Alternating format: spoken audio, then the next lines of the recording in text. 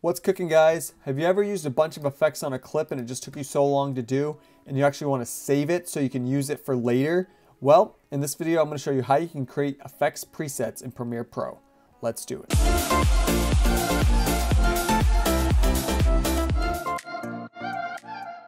Alright guys, effects presets can be really easy to save, but they can be a little tricky when you're actually using them again on a different adjustment layer or a different clip. When you have certain effects that you are ready to save and you have it exactly how you want it. For example, I have these two effects right here where I created kind of like a pan whip transition. I actually just created a tutorial on this type of transition in my last video, so I'll leave that in the description so you can check it out. But anyway, I had these two effects. I had a directional blur and an offset, but it, it did take me a little while to create the keyframes and to adjust the graph and everything like that. So I don't really want to have to do this a million times for this video if I wanted to use it in multiple parts of this video or in for my next video. So what you can do is you can select all your effects layers on Mac. For me, it's Command.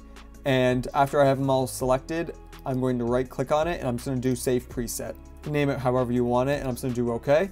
And now I saved it. And if I want to see where I saved it to, it will be in your Effects tab and then right under your presets. And there's my transition, pan left transition. But here's the tricky part. I can't just grab an adjustment layer and drop it over a different part of my timeline and then grab the pan left transition and drop it on that adjustment layer and expect it to be exactly the same length as my transition that I saved it from.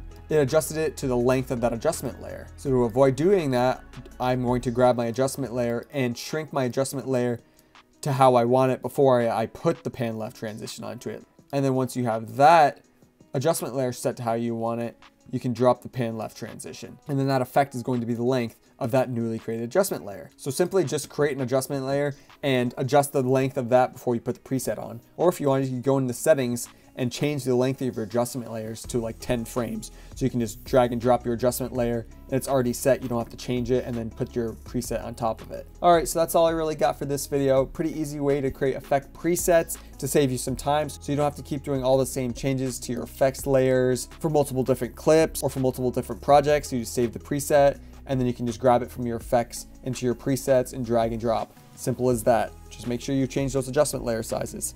Make sure you like, subscribe, ring that bell so you can keep up with all my tutorials and other videos. Other than that, that's all I got for you. See you in the next one, guys. Peace.